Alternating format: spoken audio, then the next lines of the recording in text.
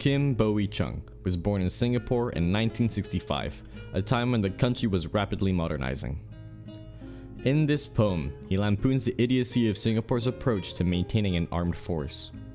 In 1967, mandatory military service of between two years and two and a half years was introduced by the government and was deeply unpopular among the people.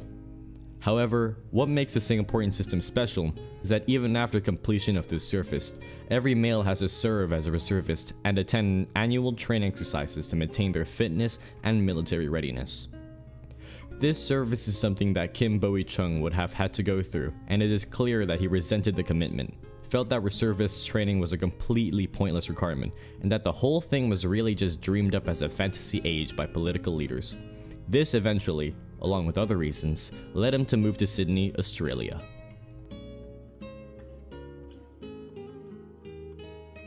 Time again for the annual joust, the regular fanfare. A call to arms the imperative letters stern, as Clarion notes, the king's command, upon the pain of court martial, to tilt at the old windmills. By definition, fanfares are ceremonial tunes played for people or events of importance. However, the usage of the phrases time again, annual, and regular counteracts the notability and uniqueness of a celebratory tune, causing it to sound repetitive and ordinary reflecting the feelings of being a reservist. This is accurate as in Singapore, once a man joins the military, they are required by law to return every year until they turn 50 years old, likely diminishing their enthusiasm and passion.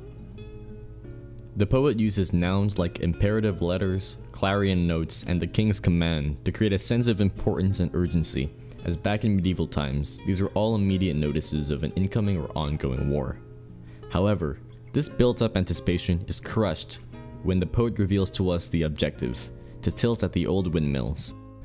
This line refers to how Cervantes Don Quixote deliberately attacked windmills, thinking that they were enemy knights. Boey Cheng's reference here serves to link Don Quixote's lunacy with that of the Singaporean politicians who are living in a fantasy. The windmills may specifically reflect the fact that any enemies they imagine Singapore to have are non-existent, while the reservists represent Don Quixote, and as such are not a very intimidating military threat should it ever come to it. Overall, the opening lines uses a language associated with medieval warfare and kingship in sarcastic flattery of the Singaporean leadership. Although the imagery of an annual joust greeted with fanfare seems to convey a jolly feel to the proceedings, it also makes this element of the Singaporean military force sound like a silly game of leaders, commanding their armies to fight windmills with threats like the pain of court martial. With creaking bones and suppressed grunts, we battle-weary knights creep to attention, ransack the wardrobes for our rusty armor, tuck the pot bellies with great finesse into the shrinking gear. And with helmets shutting off half our world, report for service. Let's start off with the irony of our rusty armor. Armor is built to protect, however, rusted they are useless. This reflects how the once strong, fit and young soldiers have grown old and weak, we hear the creaking bones and suppressed grunts of bodies that are increasingly unable to comply with the demands put upon them. Pot bellies are stuffed into shrinking gear, and heads with ill-fitted helmets are now shutting off half their world. Yet, they are all still sent back for service. Cheng does this not to shame the Singaporean reservist. He conjures this image to demonstrate their lack of suitability in general and also to illustrate their disillusionment with being required to take part in this. The helmet shutting off half our world here represents military service, both in the sense that they have to return every year until they are 50, a good portion of their lives, and in the sense that the rest of their lives that make them who they are are forgotten. We are again united, with sleek weapons we are betrothed to, in our active cavalier days. The poet here describes how as teens, first coming into the service, they were married off to their sleek weapons, and it has stayed this way for years to come.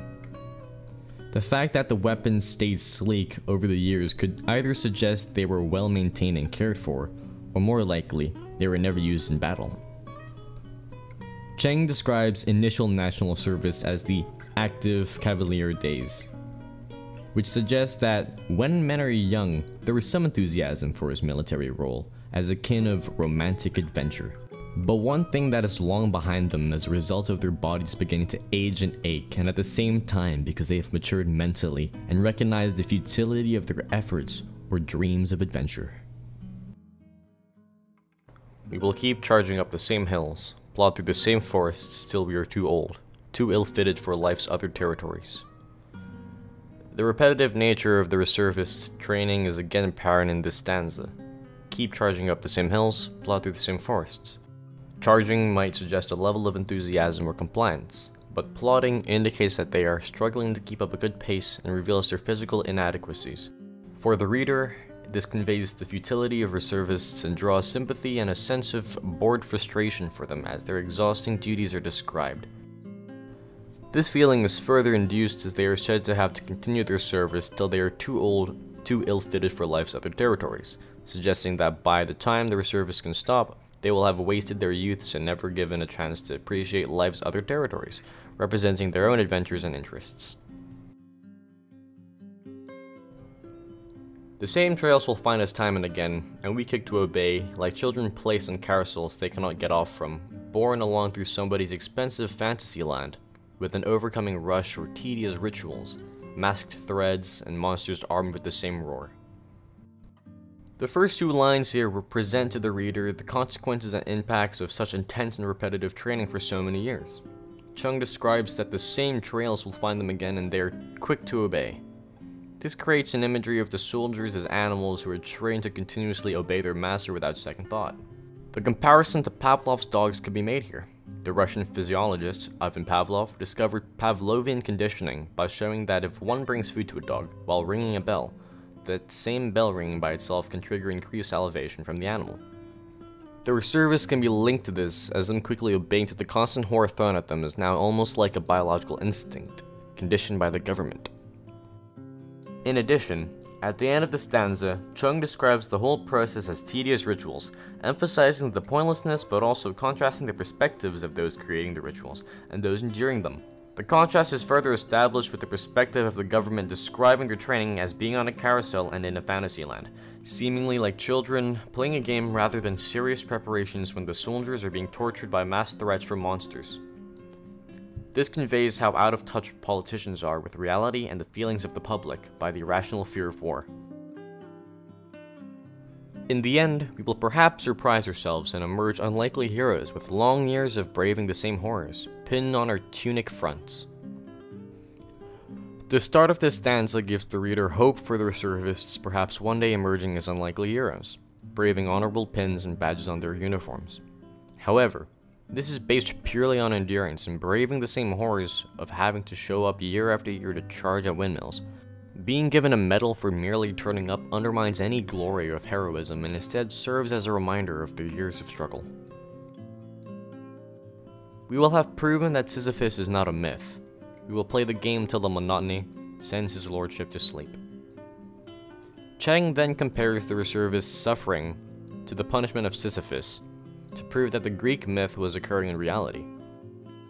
The myth involves Sisyphus tasked in the underworld to push a boulder up a hill with the reward of freedom at the top. However, once he gets close, the boulder rolls back to the bottom as he watches, and the cycle is repeated over and over for eternity.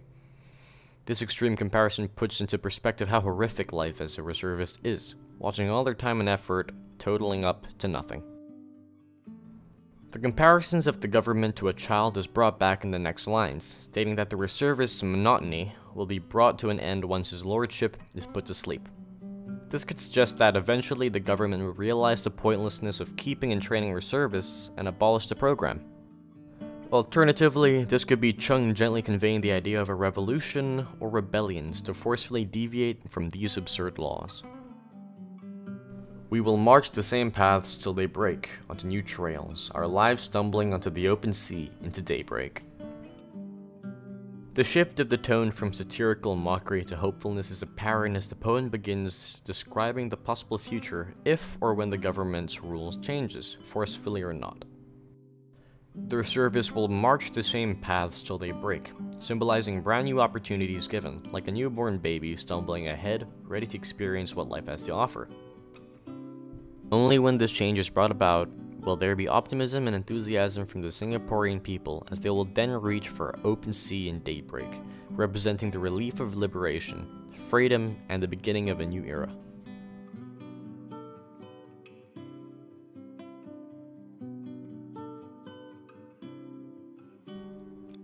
Overall, in the poem Reservist by Kim Boey Cheng, uses multiple semantic fields, symbolism, metaphors, similes, and more to comment on the futility of the current Singaporean government's actions and decisions. He believes that the forceful training of citizens to become reservists should be abolished at all costs as millions of lives are wasted, dreams abandoned, and bodies exhausted, all for somebody's expensive fantasy land.